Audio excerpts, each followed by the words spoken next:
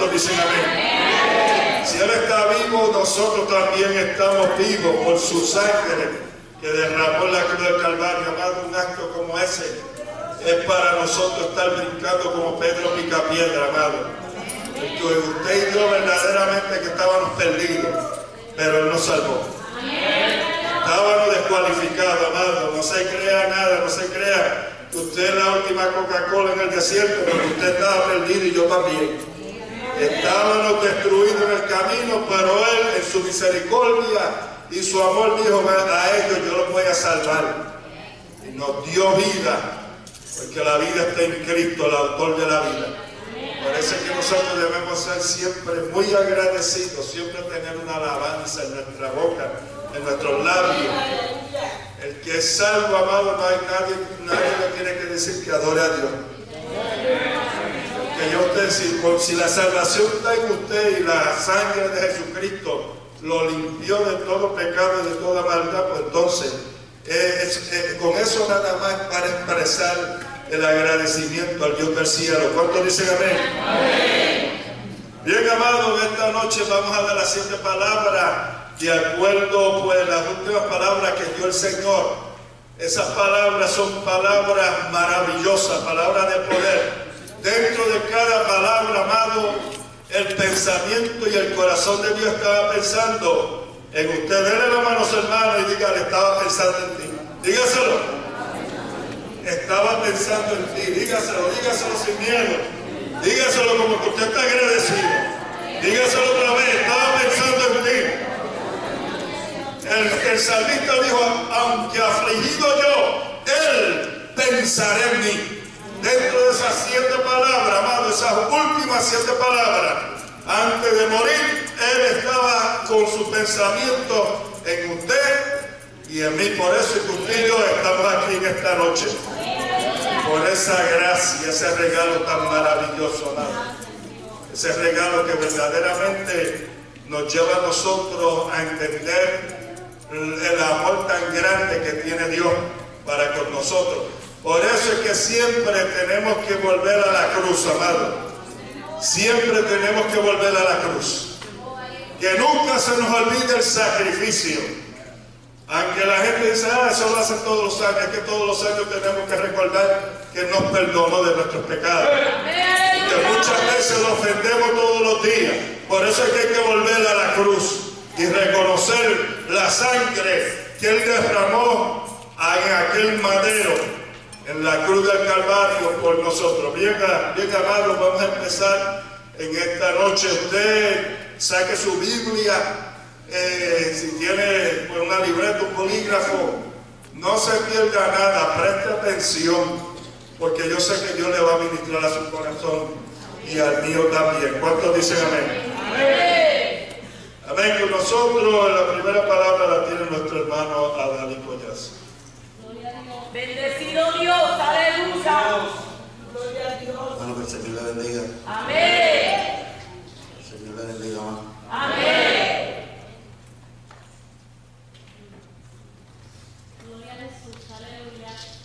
Bendecido Dios, aleluya. Vamos a buscar la palabra del Señor que se encuentra en el Evangelio según San Lucas. capítulo 23.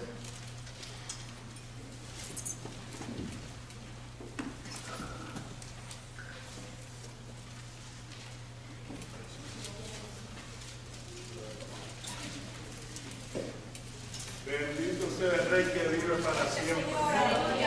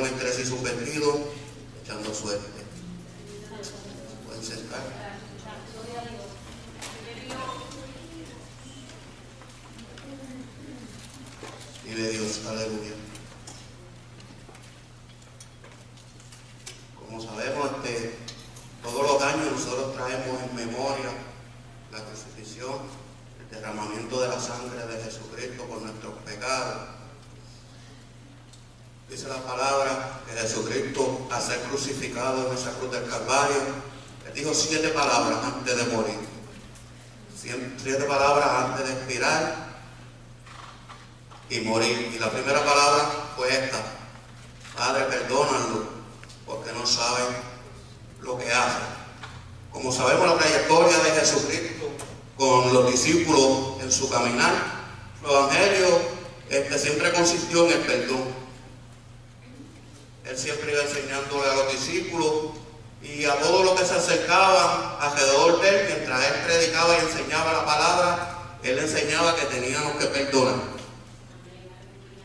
Si vamos un poco más hacia adelante, dice la palabra que cuando este, tomaron a Jesucristo, dice que lo llevaron este, frente a Pilato.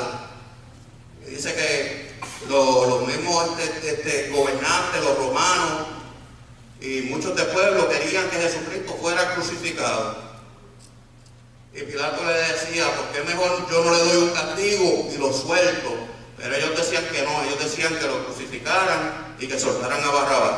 Barrabás era otro preso que había estado por homicidio en la cárcel, o sea, estaba en la cárcel, pero ellos querían que te cambiaran a Barrabás por Jesucristo y que a Jesucristo pues, fuera crucificado. A Pilato no le quedó otra opción, pues, que enviar a Jesucristo este, a morir en la cruz. Jesucristo nos está enseñando aquí algo bien importante bien claramente, que nosotros tenemos que perdonarnos unos a otros, no importando, no importando las cosas que nos hagan, no importando este, cómo, nos juzguen, cómo nos señalen, cómo nos agredan. Eso le estaba enseñando a los discípulos este, lo bonito y lo, hermoso, y lo hermoso que es perdonar a los demás.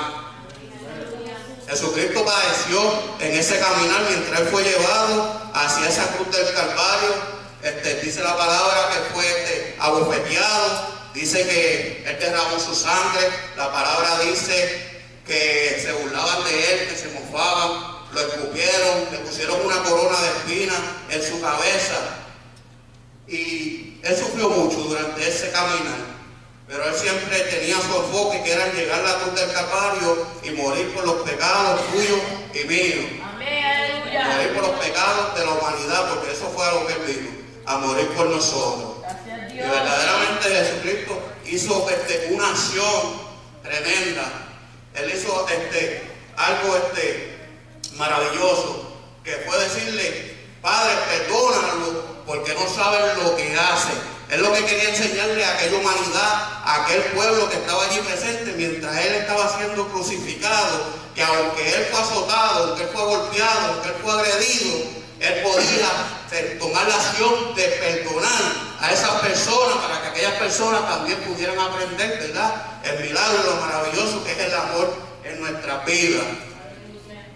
Entonces, este, yo pensando acá, mientras meditaba, mientras leía la palabra del Señor, este, Jesucristo iba siempre este, enseñándole a los discípulos lo que era el perdón.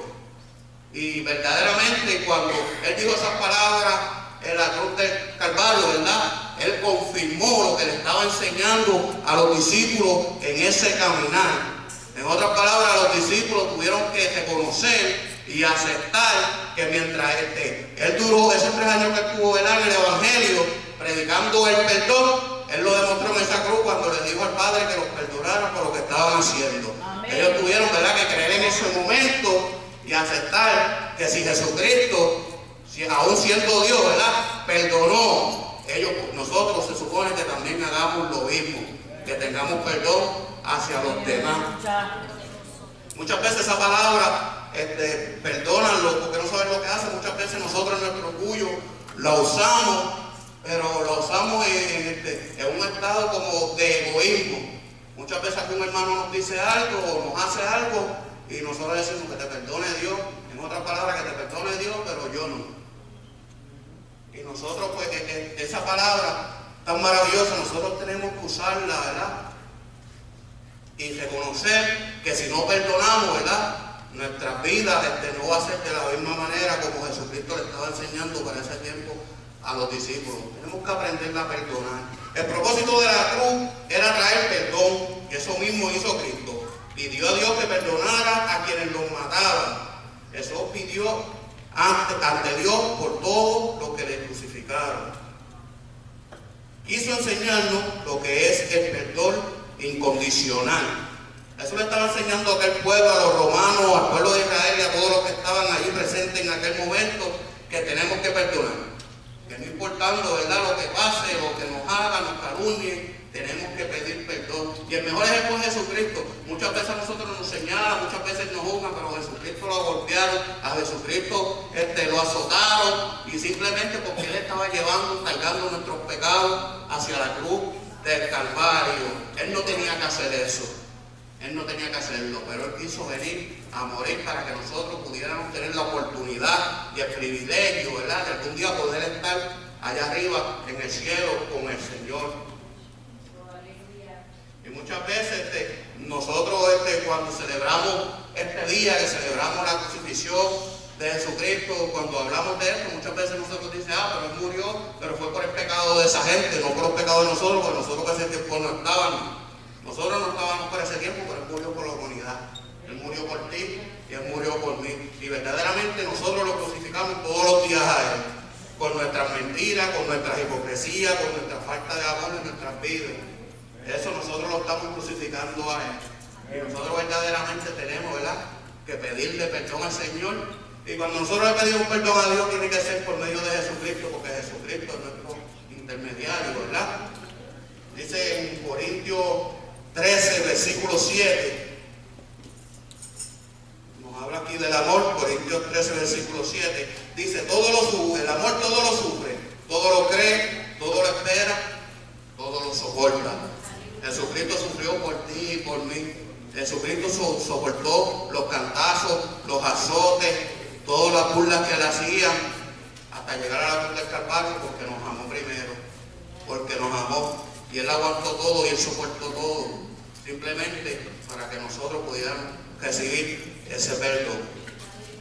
Jesucristo nos trajo el Evangelio del perdón.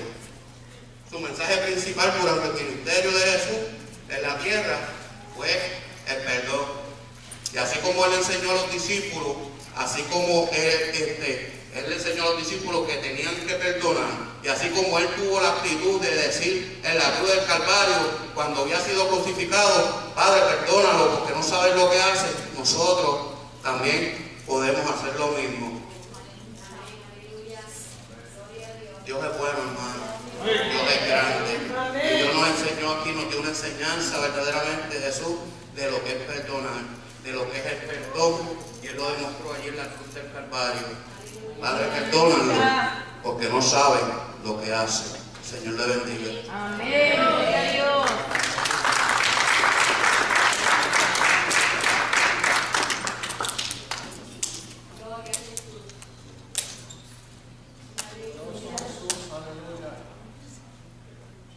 Santo eres, Señor, aleluya, bendecido Dios, Gloria al Cordero de Dios, aleluya. bendecido Dios, aleluya. Amén.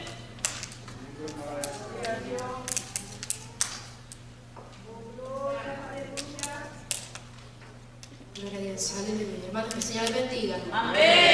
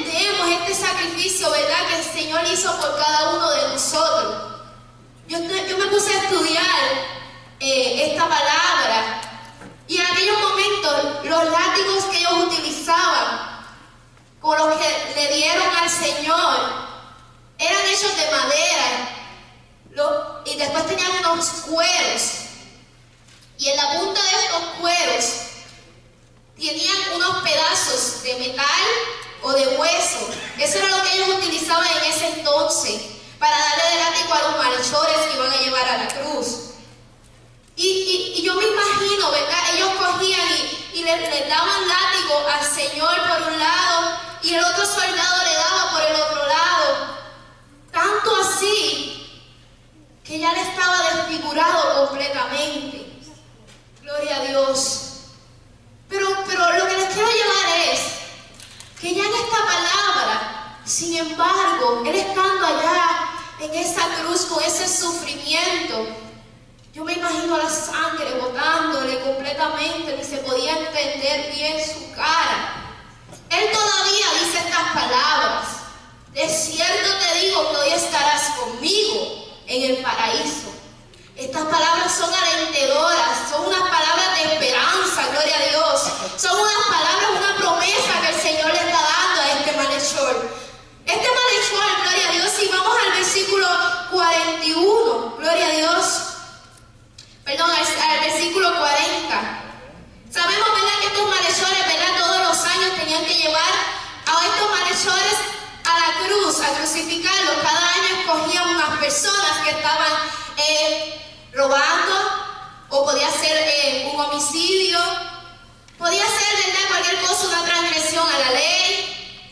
Ellos los llevaban, ¿verdad?, a crucificarlos, pues sabemos, ¿verdad?, que eran malhechores, eran ladrones no eran salvos, estaban en pecado. Gloria a Dios. Y ellos estando a su cruz, uno a un lado y otro al otro. Ese estaba en un lado se estaba burlando del Señor. Y le decía, si tú eres el Cristo, sálvate a ti mismo. Y a nosotros le decía él al Señor. Y en el versículo 40 dice, respondiendo el otro, le reprendió diciendo, ¿Ni aún temes tú a Dios? Gloria a Dios. Aquí vemos, ¿verdad?, que este malhechor reconoce muchas cosas en estos versículos. Él reconoce lo que yo les voy a explicar en este momento. La palabra reconocer significa admitir una cosa como legítima o auténtica. O sea, cuando nosotros reconocemos, estamos dejando saber de que esto es verdaderamente correcto, es auténtico. Gloria a Dios. Pues este malhechor en este reconoce primeramente cuando dice nosotros a la verdad justamente padecemos. Aquí él confiesa y reconoce su pecado. Gloria a Dios. Primera de Juan, capítulo 1, versículo 9. Gloria a Dios. Primera de Juan, capítulo 1, versículo 9 nos dice, si confesamos nuestros pecados, fiel y justo para perdonar nuestros pecados y limpiarnos de toda maldad. Aquí este malhechor estaba reconociendo y confesando su pecado. Él muy claramente dice que nosotros a la verdad justamente padecemos. O sea, él sabía que él había hecho mal. Él reconoció de que él había hecho mal. Gloria a Dios. Luego dice, porque recibimos lo que merecieron nuestros hechos. Aquí este, este malhechor reconoce que todo pecado tiene su consecuencia, gloria a Dios. Sabemos, ¿verdad?, que todo pecado que cometemos tiene su consecuencia. Aleluya. Romanos 6, versículo 23 nos dice, porque la paga del pecado es muerte, mas la dádiva de Dios es vida eterna en Cristo Jesús, Señor nuestro. O sea, él sabía muy bien que él había cometido ese pecado y él sabía muy bien cuál era su consecuencia. Él sabe muy bien que por eso era que él estaba allí, porque él sí había hecho algo malo, gloria a Dios. Pero aquí que viene lo interesante, él dice, mas este ningún mal hizo. Aquí él reconoció que Cristo lo condenaron injustamente y que no hizo nada malo. Gloria a Dios. Él muy dijo, Él no hizo nada. Nosotros estamos aquí por lo que hicimos, pero Él está aquí porque no hizo nada malo. Gloria a Dios. Romanos 5.8 nos dice, mas Dios muestra su amor para con nosotros en que siendo aún pecadores, Cristo murió por nosotros. Cristo murió por ti y por mí. Cristo murió por ese malhechor. Cristo murió por los soldados que estaban abajo. Cristo murió por los que le escupieron la cara. Cristo murió por todos nosotros. Gloria a Dios. Y aquí este malhechor comprobó, ¿verdad? Y reconoció que Cristo no hizo nada malo. Gloria a Dios. Luego en el versículo 42 dice, y dijo a Jesús, acuérdate de mí cuando vengas en tu reino. Aquí el pecador arrepentido confiesa que Cristo es Dios. Aleluya. Gloria a Dios. Primera de Juan 2.15 nos dice, Gloria a Dios. Perdóname. Romanos 10.9, discúlpeme. Romanos 10.9 nos dice, Gloria a Dios, que si confesares con tu boca que Jesús es el Señor y creyeres en tu corazón que Dios le levantó de los muertos, serás salvo. Porque con el corazón se cree para justicia, pero con la boca se confiesa para salvación. Gloria a Dios. Este malhechor entendió que el Señor, que Cristo era Dios. Él pudo confesar su pecado y él entendió que Cristo moriría, moriría por él. Gloria a Dios. Por eso es que él dijo estas palabras, acuérdate de mí cuando estés en tu reino. Gloria a Dios. Porque él sí sabía que esta persona que estaba ahí al lado de él era el que venía a salvar. Gloria Dios. Entonces ahí contesta el Señor, gloria a Dios, y le dice, de cierto te digo que hoy estarás conmigo en el paraíso. Gloria a Dios. Esta persona no tuvo que hacer muchas cosas. Gloria a Dios. Él no tuvo que hacer mucho. Él solamente tuvo que actuar. Gloria a Dios. Entonces el Señor nos enseña los pasos para poder llegar a este paraíso que tanto apreciamos. Gloria a Dios. Sabemos que este malhechor confesó a Cristo como su Salvador, gloria a Dios. Él se arrepintió del pecado, gloria a Dios. Y él creyó y tuvo fe de que estamos con Él, de que estaremos con Él en ese hermoso paraíso, aleluya. Gloria a Dios. Así que no es tan difícil, gloria a Dios. No es tan difícil. estar con el Señor en ese paraíso tan bello, Señor, gloria a Dios, que Él nos promete para nosotros. Bendecido Dios, gracias. Solamente hay que creer en Él, Aleluya. arrepentirnos de nuestros pecados. Gloria a Dios. Y entonces llegaremos a ese lugar tan anhelado que tanto deseamos todos. Que el Señor los bendiga. Amén.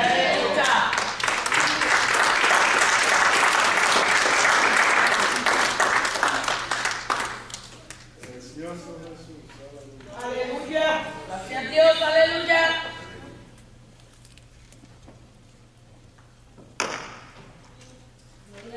Dios Jesús, aleluya. Si son tan amables, si son con este tiempo. Bendecido Dios. Vamos a leer tercera palabra que Jesucristo ha dicho en la cruz del Calvario, la cual se encuentra en Juan capítulo 19. Juan capítulo 19, verso 25 al 27, glorioso Jesús.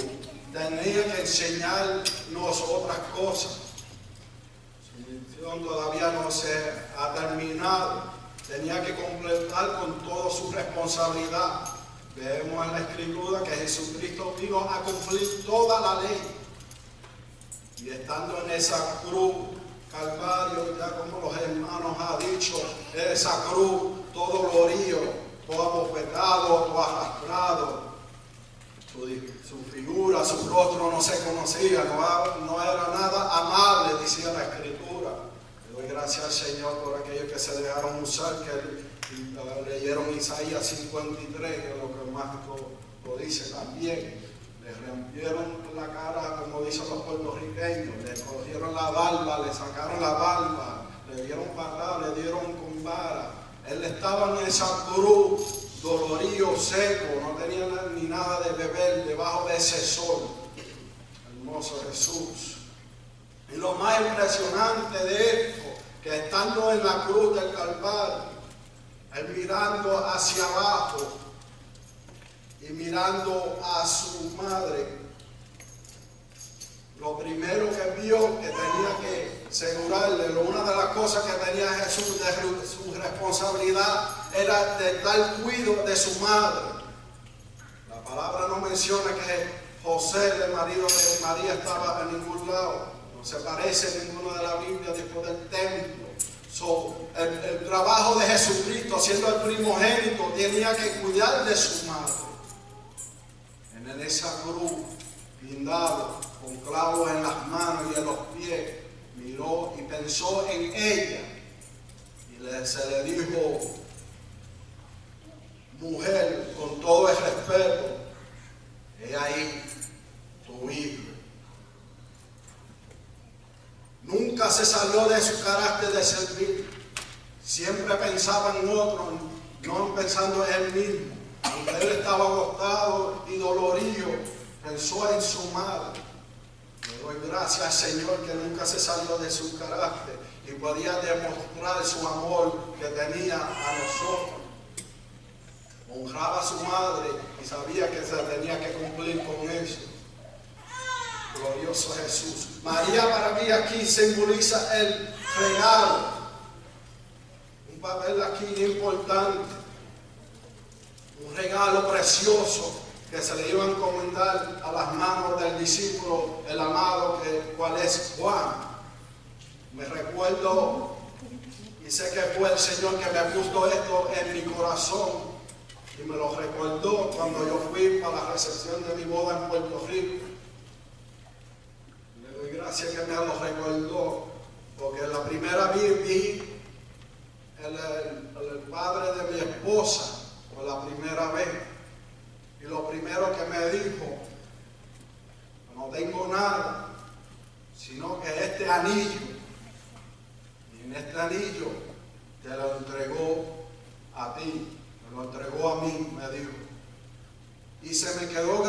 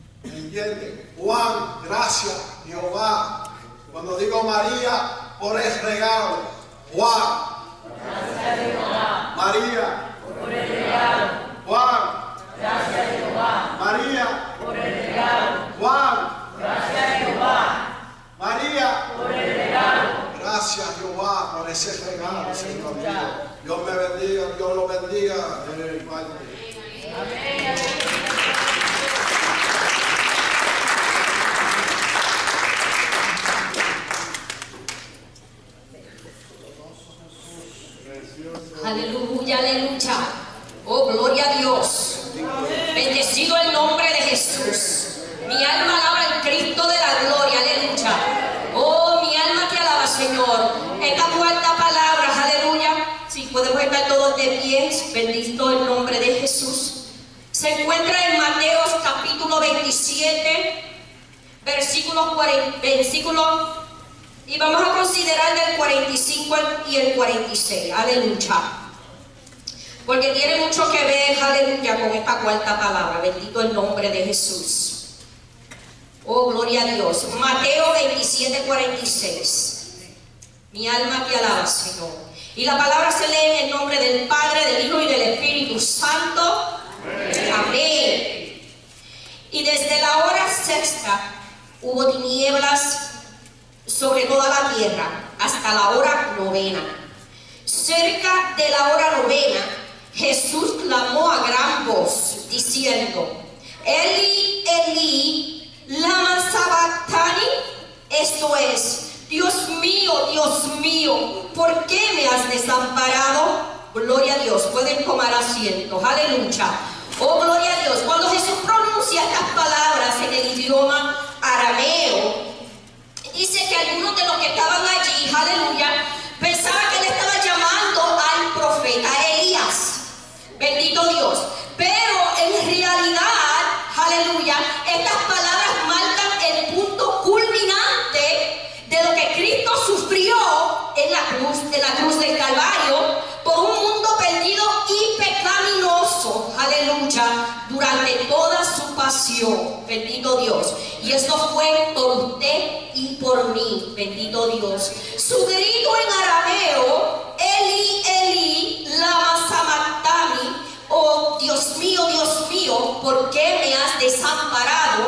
Da testimonio de que él experimentó la separación, aleluya, de Dios como el sustituto del pecador, por- porque todos nuestros pecados en ese momento Él los llevaba sobre Él. Bendito Dios, aleluya.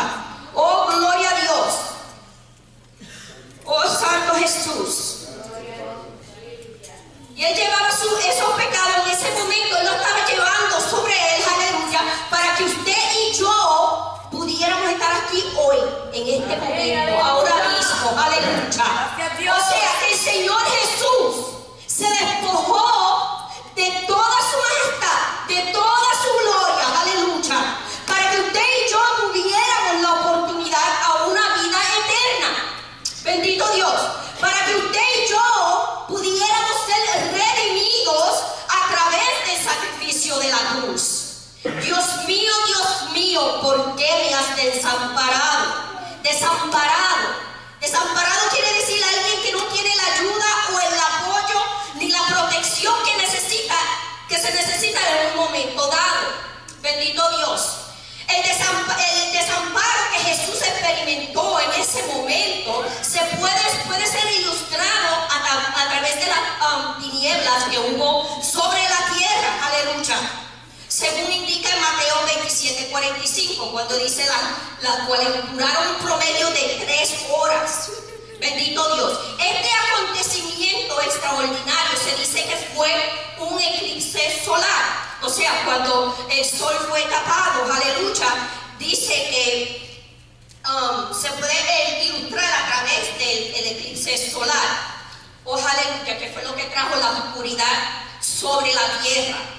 Es posible, gloria a Jesús, que el desamparo que experimentó nuestro Señor Jesucristo en la cruz del Calvario por parte de Dios Padre fue que tal vez Dios Padre no pudo presenciar, aleluya, o no pudo mirar en ese momento, aleluya, el espantoso sufrimiento que el Señor estaba pasando en ese momento. Usted se puede imaginar su único hijo, aleluya, su hijo unigénito, aleluya, pasando por ese sufrimiento, por usted y por mí, bendito Dios, aleluya. Oh, gloria a Dios, es posible que Dios Padre haya quitado su mirada de su hijo por un momento, porque no podía soportar, no podía ver cuando el pecado y la, maldad de la humanidad, Dios, aleluya, se llevaba sobre él, bendito Dios. Esa fue tal vez la peor tristeza que él pudo haber presenciado, bendito Dios. Pero era necesario, bendito Jesús, era necesario que él padeciera todo lo que padeció, todo el rechazo, todo el sufrimiento. Bendito Jesús, la crucifixión y la muerte, para que usted y yo pudiéramos tener esta vida, tener vida, tener esperanza, tener una oportunidad,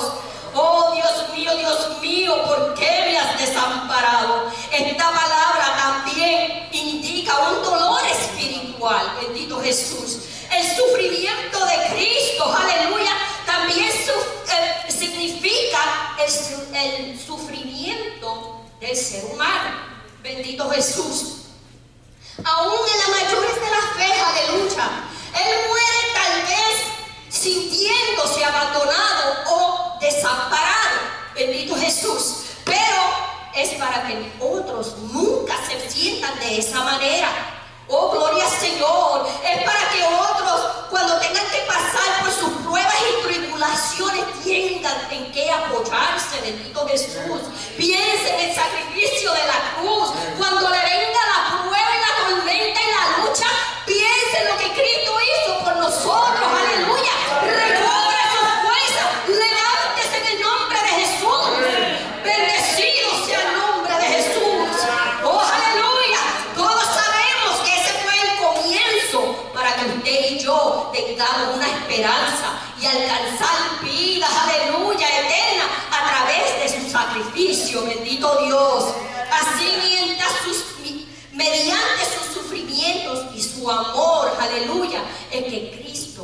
redimió a la raza humana, el cual está resumido en Juan 3:16, el cual todos sabemos, aleluya, porque de tal manera amó Dios al mundo que ha dado a su Hijo unigénito para que todo aquel que crea no se pierda, mas tenga vida eterna. Vamos a echarle manos, aleluya, esta salvación.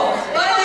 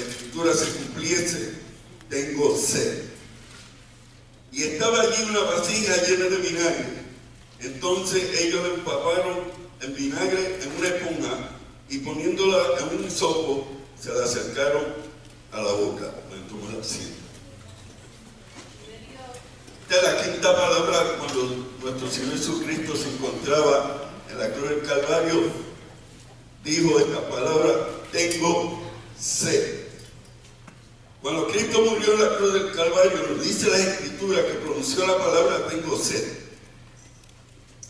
Y deseo mirar el aspecto tanto físico como espiritual. Voy a, voy a tocar dos aspectos en nuestro Señor Jesucristo. El físico y el espiritual. El aspecto físico, la palabra pronunciada por Jesucristo mientras se, se, se colgaba en el madero, nos recuerda que Cristo era ciertamente hombre, como tal sufrió ser.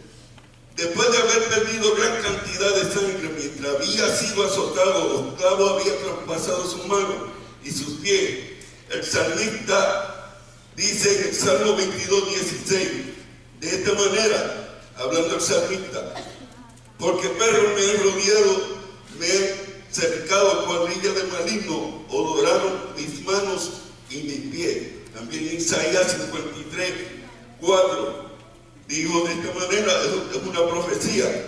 Ciertamente llevó él nuestras enfermedades y sufrió nuestros dolores. Y nosotros le estuvimos por azotados, por heridos de Dios y abatidos.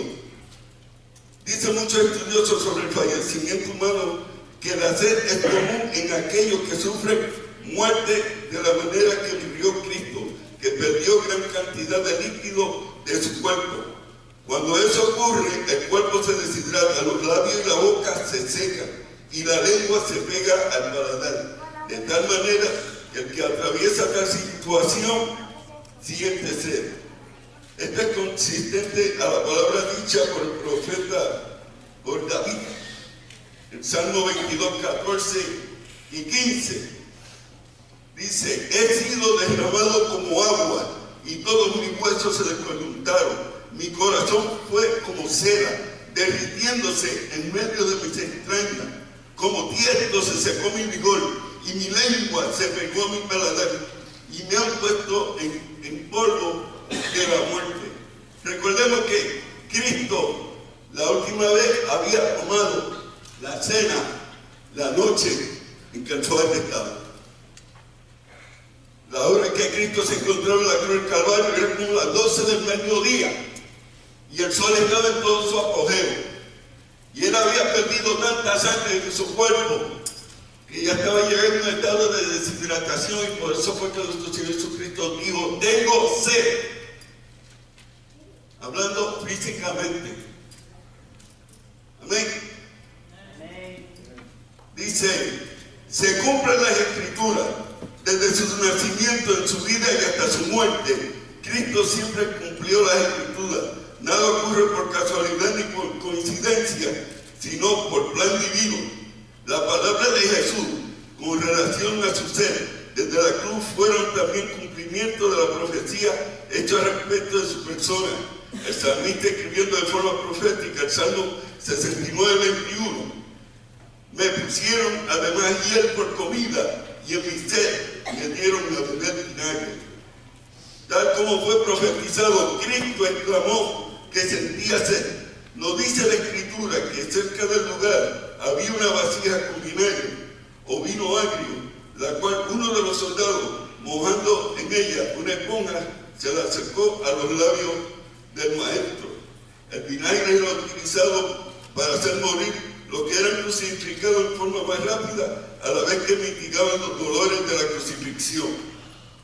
Una vez anteriormente, al llegar al lugar de la crucifixión, le dieron a beber una mezcla de vinagre con hiel, pero él la rechazó. Le dieron a beber vinagre mezclado con hiel, pero después de, de haberlo probado, no quiso beberlo. Mateo 27, 34. La segunda vez cuando le dieron de beber vinagre al Señor, lo hicieron no de buena forma, sino de mala forma. Mateo 27, 48, Lucas 23, 36. No fue, un, favor lo que le hicieron, sino una burla. Aunque Cristo tomó el vinagre, no puedo pensar que la sed física del Señor fuera fumigada. Pero vamos a hablar del aspecto espiritual. Resulta muy interesante y hasta irónico que Jesús estuviera pidiendo agua. Él, era él mismo, le dijo a la mujer samaritana, si conociera el don de Dios y el que te dice, y el que te dice, dame de beber, tú le pedirías y él te daría agua, agua viva. Juan 4.10. El mismo, en el último día de la fiesta de los tabernáculos, dijo, si alguno tiene sed, venga a mí y beba. Él es el mismo que según nos dice el gran apóstol, Cristo es la roca espiritual que nos dio agua al pueblo de Israel en el desierto. Primero de Corintios 10.4. Pero ahora vemos que Cristo, la fuente de vida, tiene sed. La sed que sufrió Cristo fue para que nosotros nunca jamás tengamos sed. Y estas palabras son reales, tal como los días de Moisés. Cristo, la roca, puede darnos agua después que ha sido golpeado una vez. Pero Moisés sufrió castigo por haber golpeado la roca, tipo de Cristo, más de una vez. Este error le costó a Moisés su entrada a la tierra prometida. Cristo, la piedra angular, que es fuente de agua viva, fue golpeado una vez y para siempre en la cruz del Calvario, para que nosotros podamos beber del agua que salta para la vida eterna. Juan 4.7. La muerte de Cristo fue similar a la de aquellos hombres que estaban crucificados junto a él. Fue el mismo tiempo, fue el mismo tiempo, muy distinta.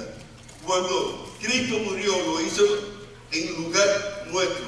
En la cruz, Él sufrió no solamente una muerte y sufrimiento físico, sino que sufrió la paga infernal que nosotros de- deberíamos sufrir. Cristo llevaba sobre su lomo la condenación del pecado de su pueblo.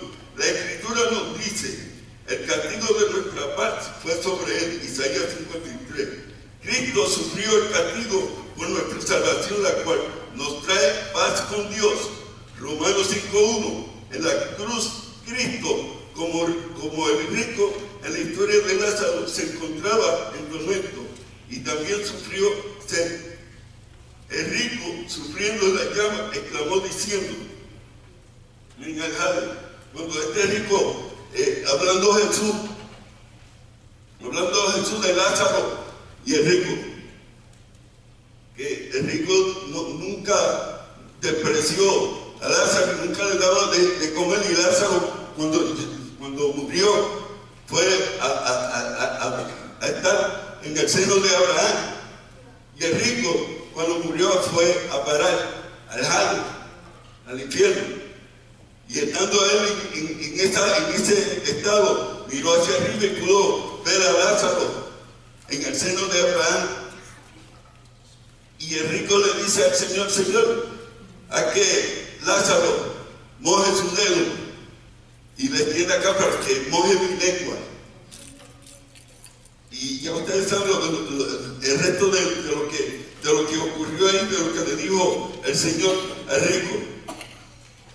Podemos concluir diciendo, siendo rico se hizo pobre para darnos riqueza espiritual, siendo fuerte se hizo débil para darnos fortaleza, estando en gloria se hizo humilde para llevarnos a su gloria, siendo Dios se hizo hombre para que participemos de su naturaleza, siendo pan pasó hambre para alimentar nuestra hambre espiritual, y siendo la fuente de agua tuvo sed para que los que buscan, lo buscan, no tenga sed jamás. Amén. Dios le bendiga.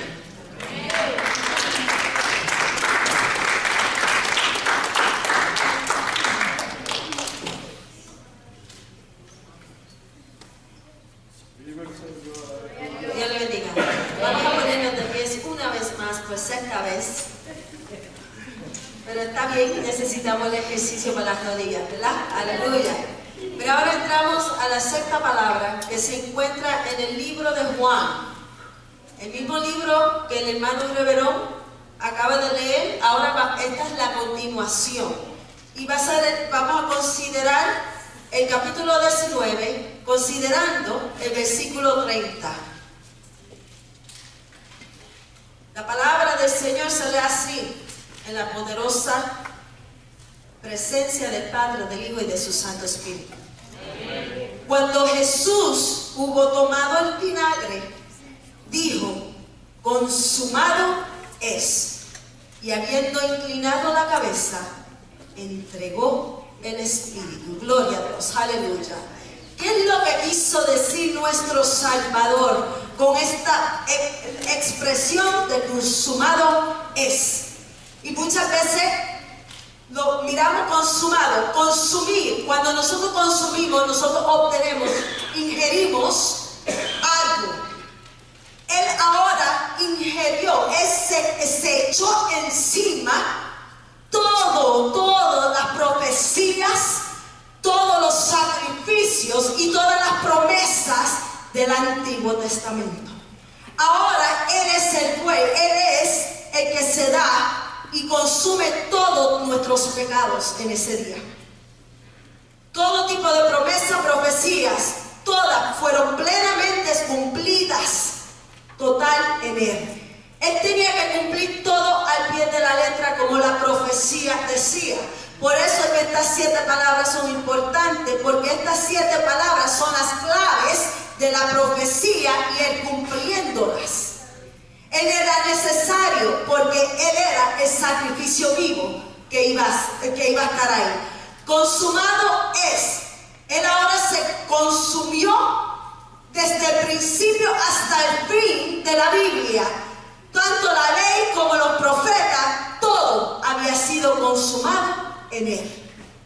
Pero las palabras consumado es no solamente tiene ese significado, también tiene un significado muy rico, porque no solamente fueron la- los sacrificios, las profecías, las, pros- las promesas consumidas en Cristo, pero sino que ahora todos los sacrificios de la antigua ley judía fueron abolidos y también fueron explicados porque no se entendían los sacrificios. Y la palabra nos enseña que si rompían una, las rompían todas. Y solamente el sacrificio para los pecados se podía ofrecer una vez al año. Había que esperar mucho tiempo. So, si algo te pasaba entre sí y tú rompiste una de las leyes, pues ahí quedabas. No había salvación. Pero mira cómo nuestros, los profetas de la Biblia, yo estaba leyendo un libro de um, Charles Spurgeon, que él es un doctor en teología del 1811. Escribió muchos libros, él estudió mucho y algo que me interesó fue unas palabras que aprendí de él y quiero dársela a ustedes en forma, en tipo de poema. Dice, Abel y sus amigos, que habían estado sentados en la gloria de arriba desde mucho antes del diluvio, ellos observan mientras Dios de- enciende estrella tras estrella en el cielo. Promesa tras promesa, proyecta luz sobre las densas tinieblas de la tierra. Ven llegar a Abraham y se inclinan y contemplan y se maravillan cuando miren a Dios revelando a Cristo, a Abraham en la persona de Isaac. Desde los tiempos de Noah, Abraham, Isaac y Jacob, ellos contemplan altares humeantes, señales del hecho que el hombre es culpable. Y los espíritus ante el trono dicen, Señor, ¿cuándo terminarán los sacrificios? ¿Cuándo no se derramará ya más sangre? El ofrecimiento de sacrificios sangrientos aumenta pronto. Ahora son llevados a cabo por hombres ordenados para ese propósito. Aarón y los sumos sacerdotes y los levitas cada mañana y cada tarde ofrecen un cordero, mientras que grandes sacrificios son ofrecidos en ocasiones especiales. Los novillos gimen, los carneros sangran, los cuellos de las palomas son quebrados y durante todo ese tiempo los santos están clamando, oh Jehová, ¿hasta cuándo? ¿Cuándo cesará el sacrificio? Año tras año, el sumo sacerdote atraviesa el pelo y rocía con sangre el propiciatorio. El año siguiente lo ve hacer lo mismo. Y el siguiente y otra vez y otra vez y otra vez. David ofrece hectatombes y Salomón sacrifica a decenas de miles. Ezequías ofrece ríos de aceite. Osías de abundancia de la grosura de bestias engordadas.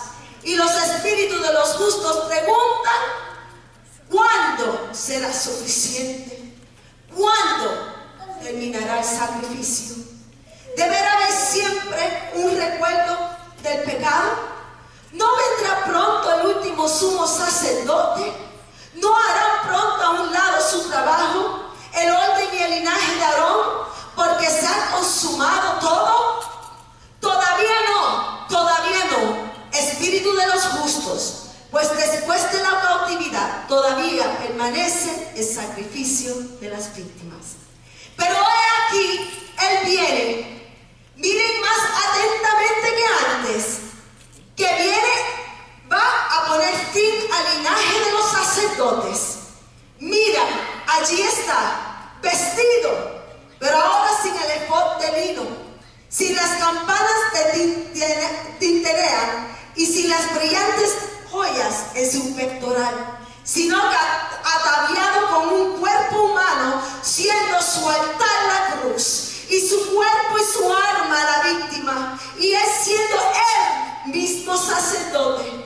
Miren ante, miren, ante su Dios ofrece su propia alma detrás del velo de decenas de tinieblas que lo han cubierto de la mirada de los hombres, presentando su propio cuerpo y sangre, atraviesa el velo, la rocía allí y avanzando desde el centro de las tinieblas, mira hacia abajo a la tierra, atónita, y hacia arriba al cielo expectante y clama, consumado es, consumado es. Eso es lo que nosotros estuvimos esperando por todo este tiempo. Porque ya no hay que hacer sacrificios, ya no hay que derramar la sangre, porque ya el Señor derramó esa sangre de Él. Él fue, Él fue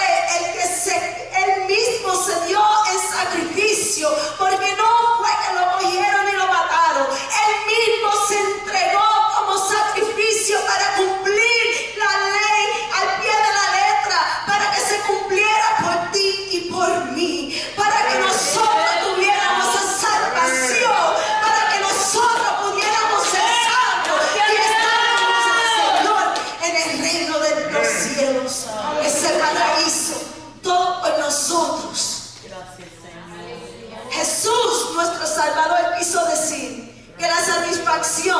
que a Él le dio a la justicia de Dios había sido consumida.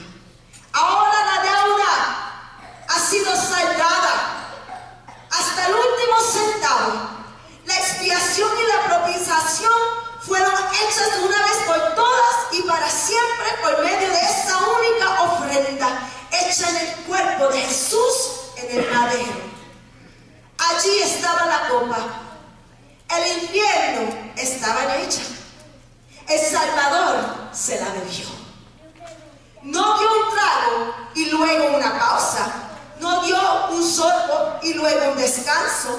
Sino que Él la agotó hasta que no quedó un solo residuo correspondiente al pueblo. El gran látigo de 10 correas, hermanos, 10 correas que eran usadas para dar látigos a- como animales. 10 correas de la ley fue desgastado la espalda de Jesús. No ha quedado ningún azote para golpear a alguien por quien Jesús murió. Oh justicia, tu espada está envaída, tu trueno está silenciado, oh la ley ya queda atrás. Ahora no queda nada de todas las aflicciones, dolores y agonías que se debieron haber sufrido por los pecados, nosotros, los pecadores. El Señor se las echó todas encima. Él las sufrió. Él cogió los latigazos por ti por mí. Pero así Satanás también estaba y se reía. Pero mira cuán grande fue ese sacrificio de consumado es que Jesús ahora destruyó totalmente el poder de Satanás, del pecado y de la muerte. Porque ya no hay muerte en todo ese que creyera que Jesús es el Hijo de Dios, que Jesús es el Salvador. Él es el campeón. Él fue el que combatió y ganó. Él ganó nuestras armas contra todos los enemigos.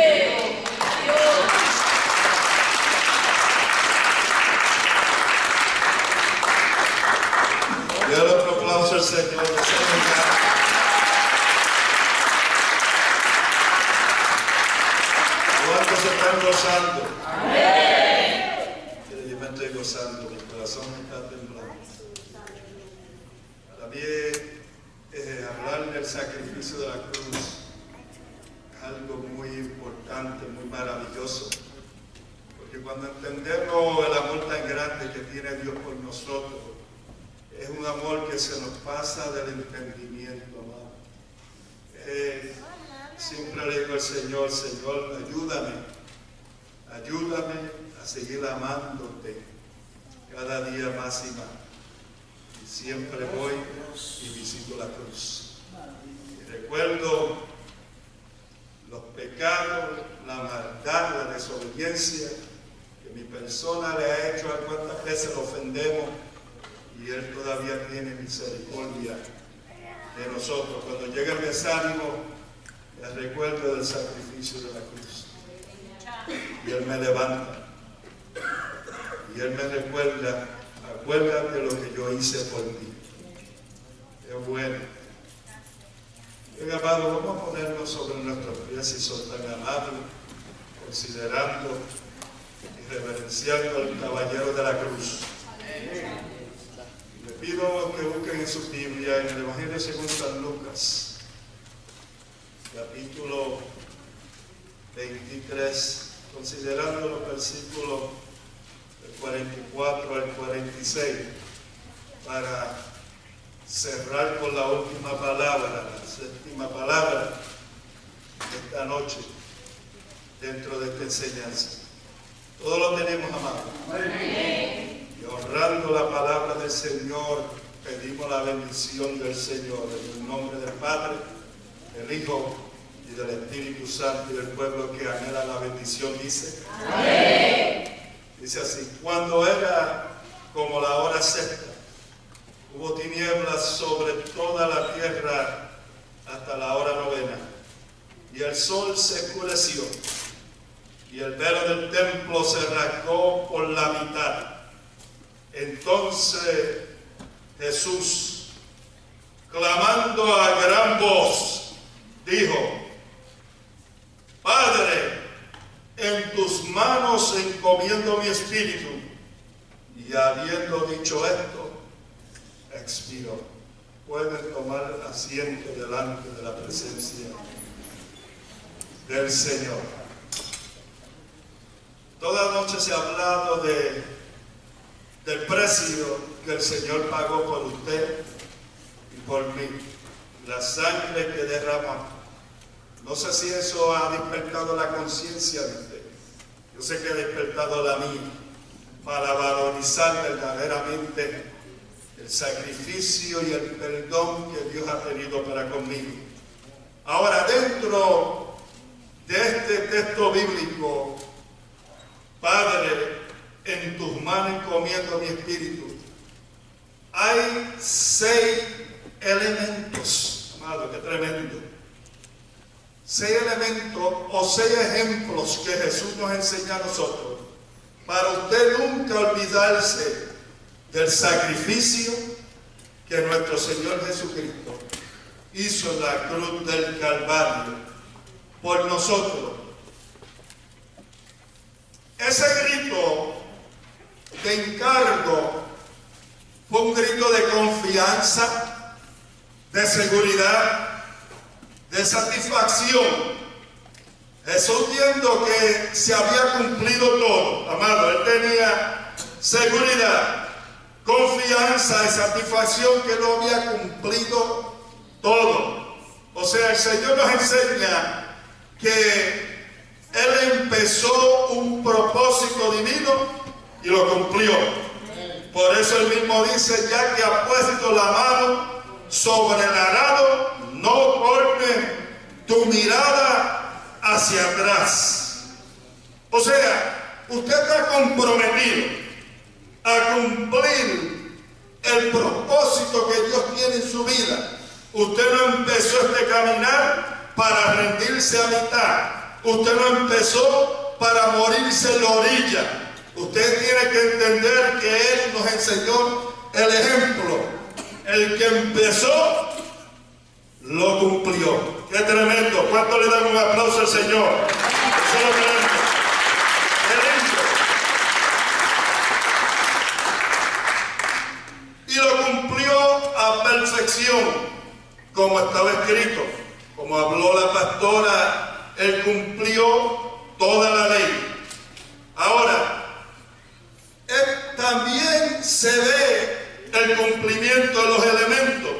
Vemos en el versículo número 44, el 45, perdón, dice que el sol se oscureció. Y dice que el velo del templo se rasgó por la mitad. ¿Por qué tan grande significado ese texto, amado? Porque cuando Jesucristo derramó la sangre y pagó eh, por nuestros pecados, ahora se abre la comunión entre el Padre y usted. Por eso es que ahora usted se puede acercar al altar y clamar y orar a Dios. Por eso es que a mí me encanta la oración, amado. Porque yo sé que tengo total acceso al cielo, al Padre, y sé que me escucha. ¿Cuánto dicen amén? Eso es que yo amo, el hablar con Dios. Porque Dios, Jesucristo, proveyó eso para usted y para mí. El primer ejemplo que Jesucristo nos dio dentro de este versículo número 46 es su actitud. Su actitud. Él sabía que se había rendido a toda la soberanía del Padre se había rendido a toda la autoridad del Padre como ejemplo y sabía que él iba nuevamente al Padre. Por tanto, él sabía que podía descansar, amado, en Dios, en el Padre. Qué confianza preciosa. Cuando usted está pasando por el problema, la tribulación, el dolor, descansa usted en el Padre. Tiene, tiene el Padre dominio total sobre su mente, su corazón, sus emociones, sus sentimientos. O sea, él podía descansar. Por eso él dijo, Señor, encomiendo mi espíritu al Padre. Jesús reposa su espíritu en el Padre después de completar la obra de la cruz. So, el primer ejemplo es la actitud. Cuando usted y yo estemos pasando por el dolor, por el rechazo, por el sufrimiento, ¿ah? por la burla, ¿qué actitud tenemos? Miramos hacia el sacrificio y tenemos la misma actitud y descansamos y reposamos en el Padre, le entregamos, le encomendamos nuestra vida al Padre, no importa lo que usted esté atravesando, para pensar, ¿verdad que sí? Punto número dos. Dentro de las mismas palabras que proclamó, vemos su amor. O sea,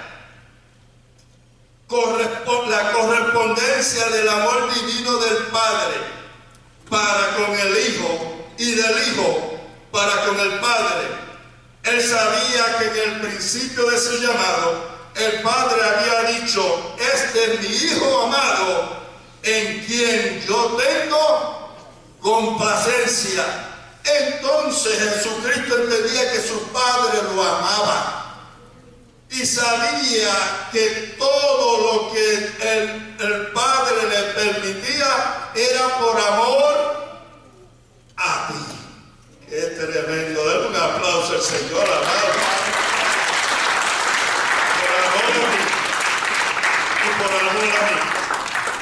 Sabía que el Padre lo amaba, le amaba. Ahora pues, como le amaba, le encomendó su espíritu. Punto número tres. Su obediencia. Es difícil obedecer cuando eh, tenemos 39 latigazos encima, ¿verdad que sí? Qué difícil es desobedecer cuando la gente nos escupe la cara, cuando la gente nos tira piedra, ¿verdad que sí? Cuando la gente nos critica. Qué fácil salimos corriendo, amado, como el correcamino, cuando la gente nos señala, cuando la gente nos juzga, cuando la gente nos avergüenza porque dice que les rompieron sus vestidos. Quiero decirle, amado, que la película aquí no hace justicia. A Jesucristo lo crucificaron desnudo. Quiero enseñarle algo que yo aprendí, amado. ¿Sabe usted que la muerte de nuestro Señor Jesucristo fue tan cruel y tan dolorosa? Fue una muerte tan perversa que después de Jesucristo y de acuerdo a la tradición, después de Jesucristo el apóstol Pedro, los, los romanos dijeron, "Ah, la pena de muerte jamás va a ser la cruz. ¿Sabía usted eso? Por eso es que no crucifican más a un malvado en una cruz, porque ellos mismos fueron, esto es muy terrible, muy cruel para ser un ser humano.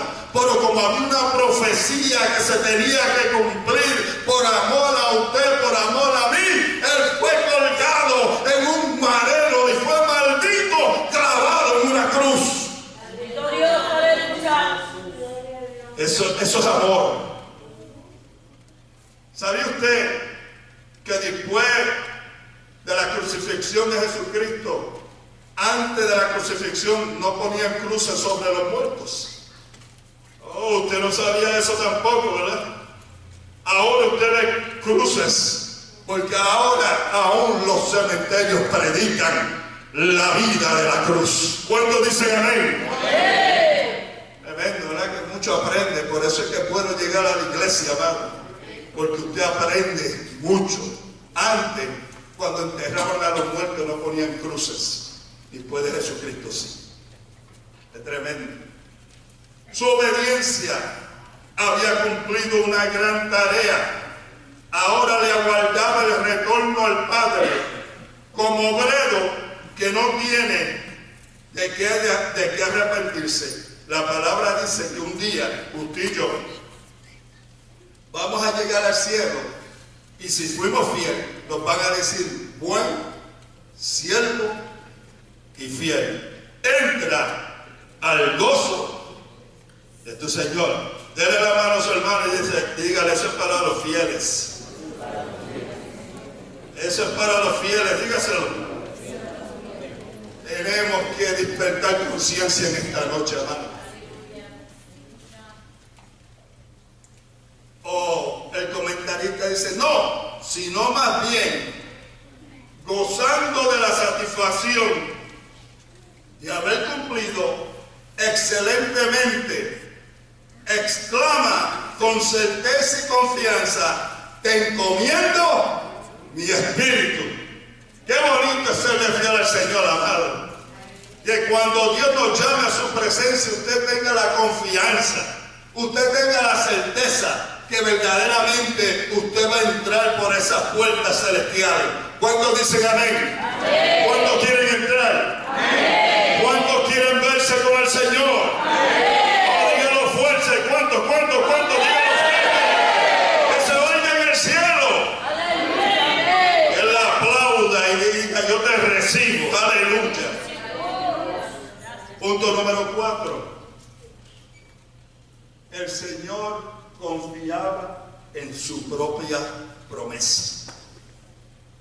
Dice, el Señor tenía la certeza y la encomienda era tan solo momentaria. Él sabía que esa encomienda era momentaria.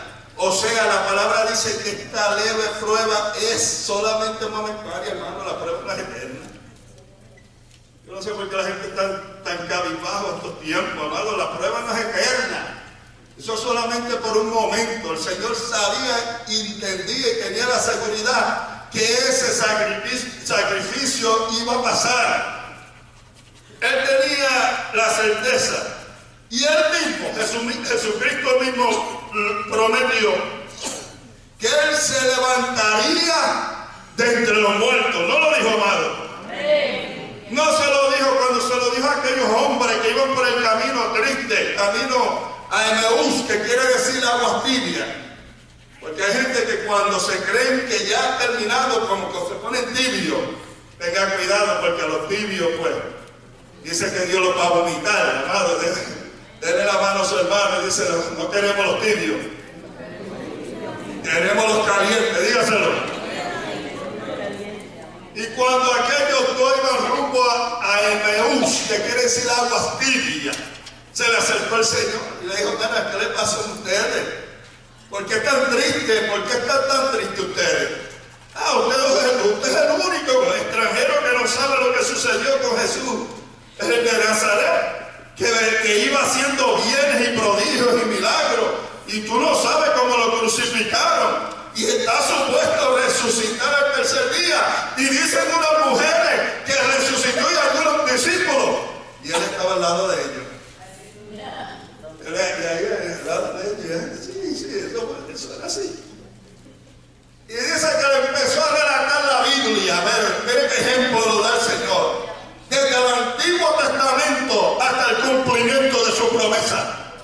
Por eso es bueno conocer la palabra del Señor. Por eso es bueno amar la palabra del Señor. Por eso es bueno entender la historia de Jesucristo. Conocer los evangelios, su vida, su andar, su carácter, su amor, su actitud. Aleluya, su obediencia para nosotros ponerlas en práctica. ¿Cuántos dicen amén?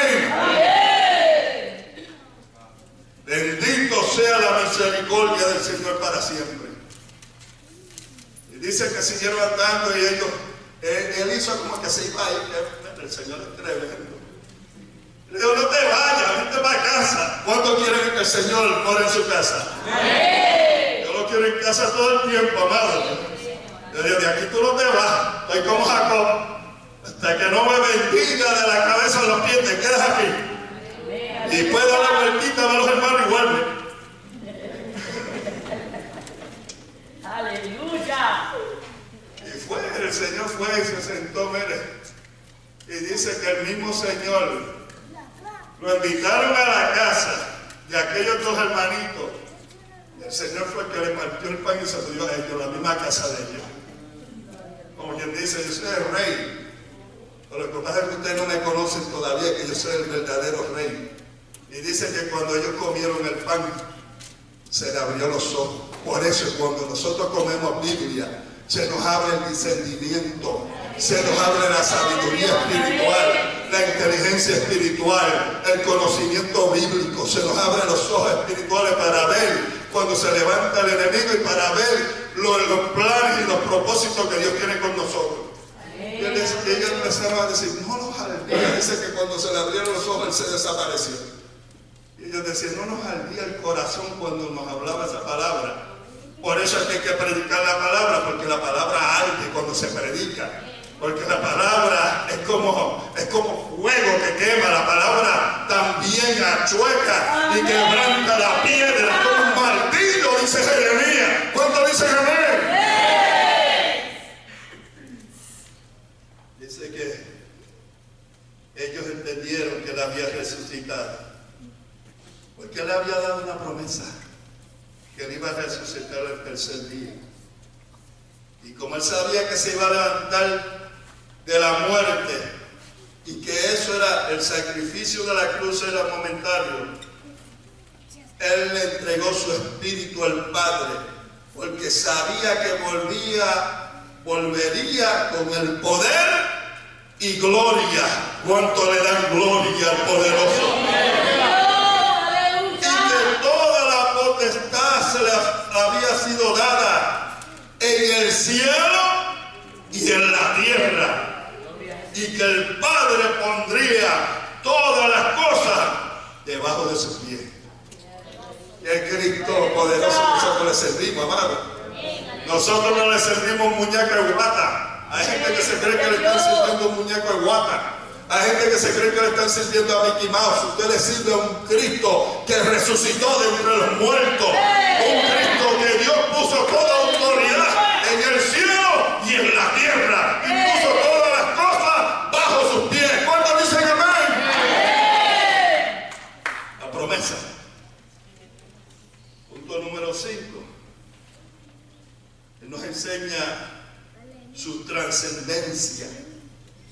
Su trascendencia. Dentro de ese texto bíblico, Él declara la eternidad en la frase que expresa a la plenitud de la muerte. O sea, que en aquella cruz Él no culminaba, Él no se iba a quedar muerto, no terminaría. Ante bien, solo el preámbulo de una victoria contundente sobre la muerte. O sea, aquella cruz era el preámbulo que lo iba a desatar la victoria sobre usted y sobre mí. ¿Cuántos tienen victoria? Asegurando con esto la resurrección de entre los que creen en su nombre. Por eso el mismo dice, el que cree en mí, aunque muerto, vivirá. ¿Cuántos están vivos? ¿Cuántos están vivos? O sea, su trascendencia. Que iba, que solamente la muerte era que un paso hacia la victoria de vida eterna. Y, y por último, ese texto que nos dice, Padre, en tus manos comiendo mi espíritu, declara su adoración. Tremendo. ¿Cuánto le adora? Tiene una colección de adoración, porque dice, elevo hacia ti mi espíritu. Eso es una conexión de adoración. ¿Cuántos elevan su espíritu al Señor? ¿Cuántos cuando entran por la puerta le dicen al pensamiento negativo y a la carne, tú te quedas ahí, yo voy a hacia el trono de la gracia y voy a adorar su nombre? O sea, está hablando su adoración. Elevo a ti mi espíritu, oh Padre, para poner en lo alto te adoraré, pues tú que habitas en medio de la alabanza, el Padre busca adoradores que le adoren en espíritu en verdad. Padre, en tus manos encomiendo mi espíritu. Esos son seis pasos nos ayudan a nosotros a nunca olvidarnos del sacrificio de la cruz. Póngase sobre sus pies. ¿Cuántos aprendieron algo en esta noche? ¿Cuántos aprendieron algo en esta noche? Denle un aplauso gigante al Señor que se lo merece.